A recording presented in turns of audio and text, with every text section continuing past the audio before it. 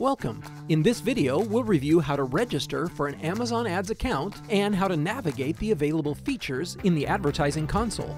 To get started, visit ads.amazon.com and click Register. Choose the country where you'd like to advertise, then pick the option that applies to you. Once you've registered, you'll create and manage your sponsored ads campaigns in the Campaign Manager. This page shows a single view of your ad campaigns so you can easily create new campaigns as well as track your total spend, total sales, and more. Click Create Campaign to get started. Choose from sponsored products, sponsored brands, or sponsored display.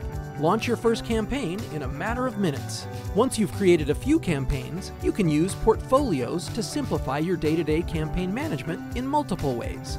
Organize your campaigns by brand, category, product, or season, whatever makes the most sense for you and your business. You can track portfolio performance and create reports for campaigns by portfolio. Portfolios also include automatic budget capping and simple invoicing. From the advertising console, you can also use Amazon's self-service store builder, located in the Stores tab, to create and edit your store. It's easy to create a multi-page experience, and there's no design expertise necessary. Amazon stores allow you to showcase your brand and products in a multi page, immersive shopping experience. In the Measurement and Reporting tab, you'll find sponsored ads reports that show account level data for all your campaigns.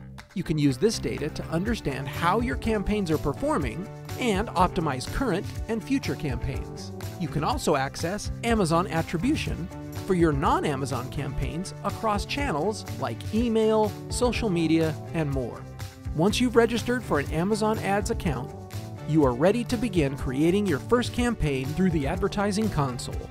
Visit ads.amazon.com to get started.